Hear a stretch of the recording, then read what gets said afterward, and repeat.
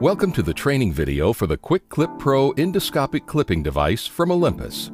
This video will demonstrate the steps needed to properly use the QuickClip Pro device to achieve hemostasis during endoscopic GI tract procedures. Please note that this video is for instructional purposes only and it is designed for use only by medical professionals. First, open the package and gently pull the QuickClip Pro out. Remove the protective cap from the tube sheath and dispose of it appropriately. Note the protective cap protects the package from being torn by the clip edge during the preparation process.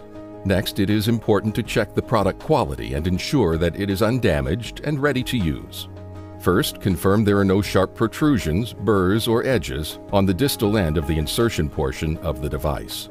Then, gently run your fingertips over the entire length of the insertion portion to check for any crushed areas, excessive bends, breaks, or other damage.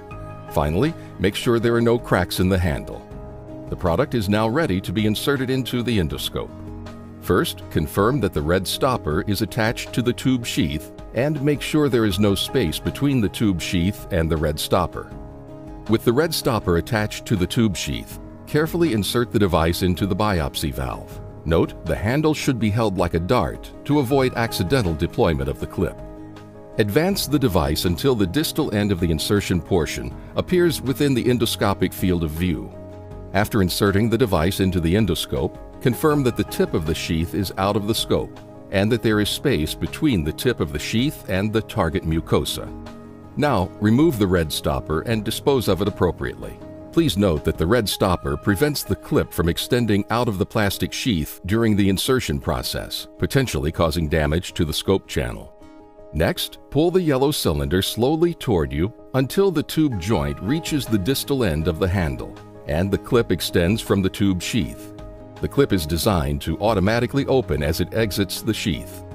Continue to hold the yellow cylinder as you prepare to target the device.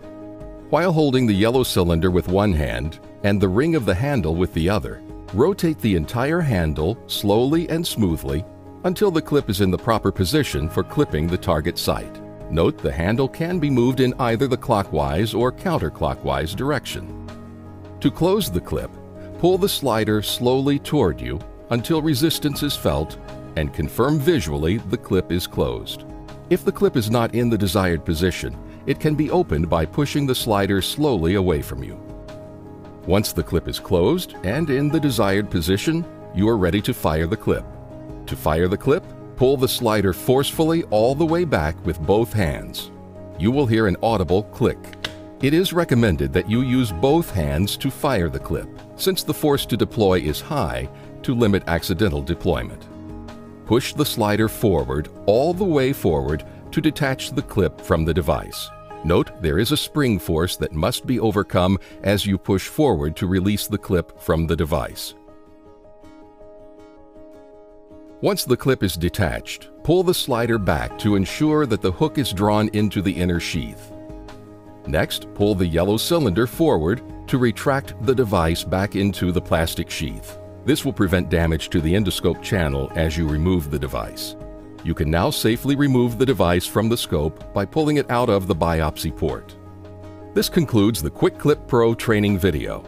If you have any questions or need additional information about QuickClip Pro, please contact your local endoscopic account manager or visit olympus.com.